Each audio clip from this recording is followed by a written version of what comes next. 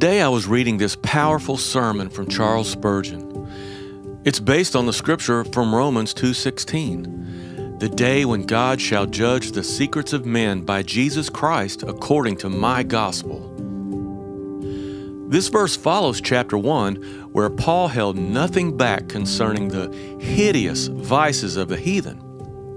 He knew he was writing both for his age and the ages to come. He called it my gospel, not that he was the author of it, but he received it from Christ himself and regarded himself so responsibly put in trust with it that he could not disown it for an instant. Spurgeon wrote, As for myself, looking at the matter afresh, amidst all the filthiness which I see in the world at this day, I lay hold upon the pure and blessed Word of God and call it all the more earnestly my gospel, mine in life and mine in death, mine against all comers, mine forever, God helping me with emphasis, my gospel. This message explains in great, vivid detail the coming judgment on us all if we regard secret sins. There are no secret sins with our Father God. I would encourage you to read the whole sermon. I've included the link below. I will now read the ending segment for you. I pray it blesses and challenges you. According to my gospel, saith Paul, and he meant that the judgment is an essential part of the gospel creed. If I had to sum up the gospel, I should have to tell you certain facts.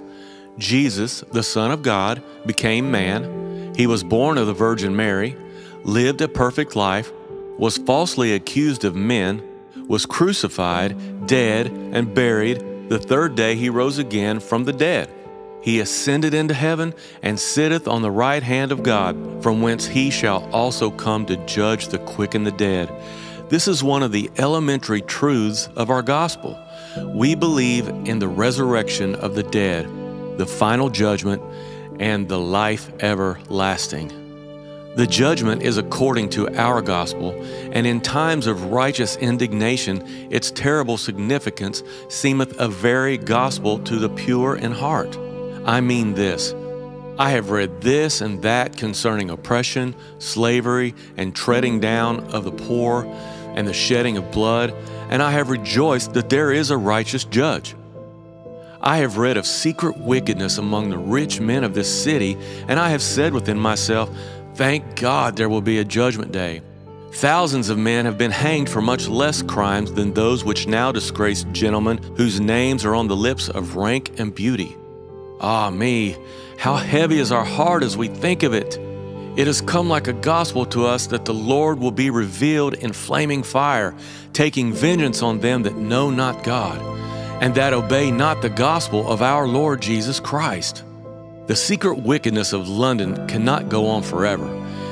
Even they that love men best and most desire salvation for them cannot but cry to God, How long, how long, great God, wilt thou forever endure this? God hath appointed a day in which he will judge the world. And we sigh and cry until it shall end the reign of wickedness and give rest to the oppressed Brethren, we must preach the coming of the Lord and preach it somewhat more than we have done because it is the driving power of the gospel. Too many have kept back these truths, and thus the bone has been taken out of the arm of the gospel. Its point has been broken, its edge has been blunted. The doctrine of judgment to come is the power by which men are to be aroused. There is another life. The Lord will come a second time judgment will arrive. The wrath of God will be revealed. Where this is not preached, I'm bold to say the gospel is not preached.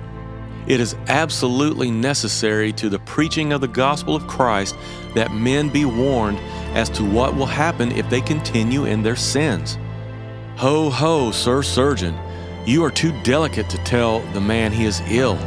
You hope to heal the sick without their knowing it. You therefore flatter them, and what happens? They laugh at you, they dance upon their own graves. At last they die. Your delicacy is cruelty, your flatteries are poisons. You are a murderer. Shall we keep men in a fool's paradise? Shall we lull them into soft slumbers from which they will awake in hell? Are we to become helpers of their damnation by our smooth speeches? In the name of God, we will not. It becomes every true minister of Christ to cry aloud and spare not. For God hath set a day in which he will judge the secrets of men by Jesus Christ, according to my gospel. As surely as Paul's gospel was true, the judgment will come. Wherefore, flee to Jesus this day, O sinners. O ye saints, come hide yourselves again beneath the crimson canopy of the atoning sacrifice, that you may be now ready to welcome your descending Lord and escort him to his judgment seat. O my hearers, may God bless you for Jesus' sake. Amen.